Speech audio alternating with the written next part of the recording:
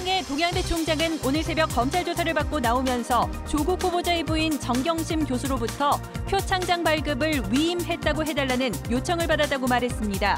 교수와 교직원 5명으로 구성된 동양대 자체 진상조사위원회는 오늘 첫 회의를 열었습니다. 21세기 인문가치 포럼이 4차 산업혁명 시대 포용적 인문가치를 주제로 안동에서 개막했습니다. 반기문 유엔 사무총장의 기조 강연을 시작으로 석학들의 학술 세션과 유명 배우와 영화 평론가 등의 참여 세션 등 모두 14개 세션이 사흘간 계속됩니다. 가을 장마가 이어지면서 수확을 맞은 사과와 포도는 피해가 속출하고 있지만 송이 생육에는 단비가 되고 있습니다.